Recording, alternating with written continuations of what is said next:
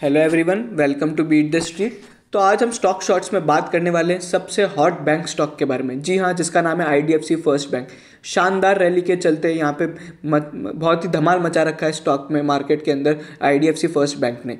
अगर आप देखेंगे तो आईडीएफसी फ़र्स्ट बैंक और उनके प्रमोटर आईडीएफसी ग्रुप दोनों के शेयर आज लगभग पाँच प्रतिशत की तेज़ी के साथ ट्रेड करते हुए दिखाई दिए।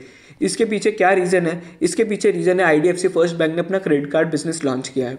इस वीडियो में हम आपको पूरे बिज़नेस के बारे में बताएँगे और हम आपका, हम आपको ये भी बताएँगे कि किन और न्यूज़ के चलते यहाँ पे आईडीएफसी में तेज़ी देखने को मिल रही है और आप, हमारा इस पर ओपिनियन क्या है क्या है हमारे लॉन्ग टर्म टारगेट्स अगर आप हमारे चैनल पर पहली बार आ रहे हैं तो इसे ज़रूर सब्सक्राइब कर लीजिए और बेल आइकन को दबा लीजिए।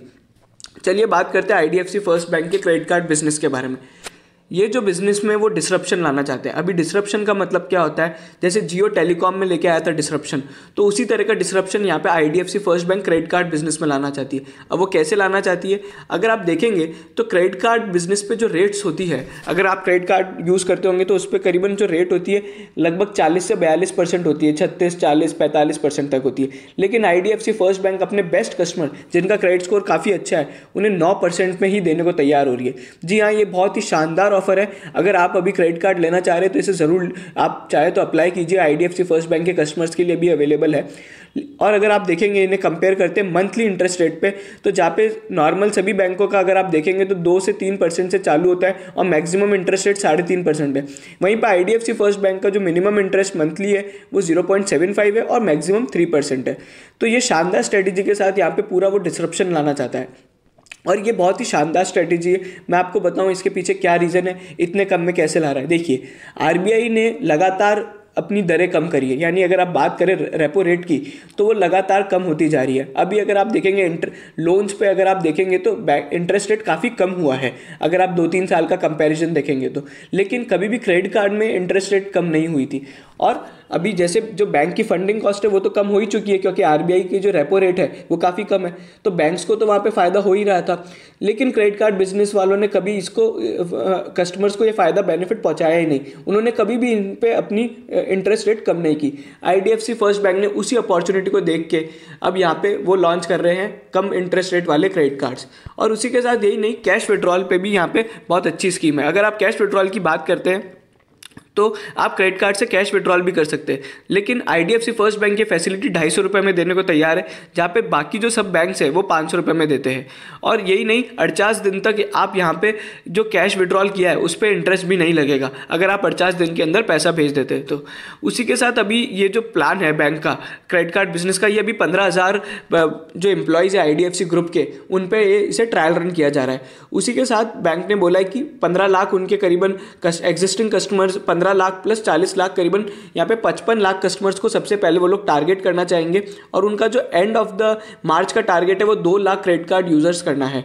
इसी के साथ अगर हम बात करते हैं तो क्रेडिट कार्ड का इंडस्ट्री कैसी है? देखिए, अभी करंटली अगर क्रेडिट कार्ड की जो इंडस्ट्री है, उसमें करीबन 59 मिलियन क्रेडिट कार्ड है एज ऑफ़ अक्टूबर 2020 वहीं पे अगर हम डेबिट कार्ड की बात करें तो 870 मिलियन डेबिट कार्ड्स है।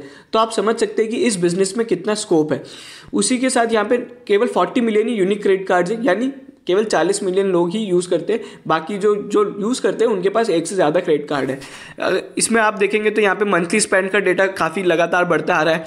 उसी के बाद एक और जो खबर आई है, वो है बैंक के लिए वो क्वार्टर थ्री बिज़नेस अपडेट है। क्वार्टर थ्री बिज़नेस अपडेट में क्या होता है? बेसिकली बैंक अपने डिपॉजिट्स और लोन जितने दिए हैं क्वार्टर थ्री के अंदर, उसके बारे में यहाँ पे बताता है। तो यहाँ पे जो IDFC फ़र्स्ट बैंक है, उसका यहाँ पे जो ग्रोथ रहा है वो बहुत ही शानदार रहा है। अगर आप कस्टमर डिपॉजिट्स की बात करें तो बैंक के कस्टमर डिपॉजिट करीबन सेवेंटी सेवन थाउज़ेंड करोड़ है, जो कि वाई ऑन वाई बेसिस पे फोर्टी वन परसेंट से बढ़ी है और क्यू ऑन क्यू बेसिस पे इलेवन परसेंट से बढ़ी है। इसी के साथ अगर हम देखेंगे तो retail deposits Y on Y basis पे हंड्रेड परसेंट से बढ़ी है। आप स्क्रीन पे देख सकते हैं, अट्ठावन हज़ार करोड़ की ये जो बैंक की डिपॉजिट्स है, ये हंड्रेड परसेंट बढ़ी है और वही क्यू ऑन क्यू बेसिस पे एटीन परसेंट से बढ़ी है। होलसेल डिपॉजिट्स यानी जो बड़े कॉरपोरेट्स होते हैं, उनकी डिपॉजिट यहाँ पे बैंक की करीबन अठारह हज़ार करोड़ डिक्रीज़ हुई है, अठारह हज़ार आठ सौ करोड़ से। लेकिन अभी अगर हम देखेंगे तो ये जो ग्रोथ हुई है, इसका जो डिग्रेड हुआ है, ये छब्बीस परसेंट से, और क्यू ऑन क्यू बेसिस पे ये डिक्लाइन हुआ है पाँच परसेंट से। उसी के अलावा top twenty depositors as of customer as of percentage of customer deposit has reduce from twenty three percent as of two nine percent to thirty first December. ये कुछ खास डेटा नहीं है। सबसे इंपॉर्टेंट डेटा है CASA ratio.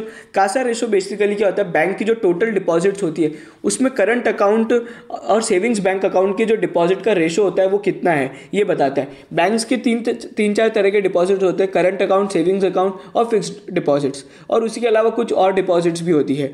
तो जितना Kasa ratio अच्छा होगा, उतनी बैंक की यहाँ पे कॉस्ट कॉस्टिंग जो होगी फंडिंग कॉस्ट वो कम होगी। तो यहाँ पे अगर हम बात करें तो जो बैंक की क्वार्टर थ्री में कासा रेशो रहा है, वो forty four point six percent रहा है as compare to twenty point nine in quarter three अगर आप पिछले क्वार्टर से बात करेंगे तो लगभग यहाँ पे डबल हो गया है कासा रेशो और वहीं पे कासा रेशो अगर हम बात करते हैं on outstanding deposit as of तो यहाँ पे दिसंबर ट्वेंटी में फोर्टी एट परसेंट रहा है। तो ये बहुत ही शानदार है। अगर आप देखेंगे तो कासा रेशो काफ़ी अच्छा रहा है। उसी के साथ अगर हम बात करते हैं बैंक्स के लोन कितने हैं तो बैंक के करीबन जो लोन है, वो एक लाख दस हज़ार करोड़ के लोन है, जो कि उसमें कोई ज़्यादा यहाँ पे फ़र्क नहीं है। अगर आप देखेंगे वाई ऑन वाई ग्रोथ पे 0.7 परसेंट की ग्रोथ रही है क्यू ऑन क्यू बेसिस पे 3 परसेंट की रही है। मेजरली लोन कम क्यों हुए हैं? मतलब ज़्यादा नहीं बढ़े, इसका पीछे रीज़न है कि बैंक कॉशियस था। जैसे कि पैंडमिक था तो पैंडमिक में हर किसी को लोन नहीं दिया। बहुत से बैंक कॉशियस होकर ही लोन दे रहे थे। तो यहाँ पे अगर मैं आपको बोलूँ तो डिपॉजिट साइड पे बैंक ने काफ़ी अच्छा परफॉर्म किया है।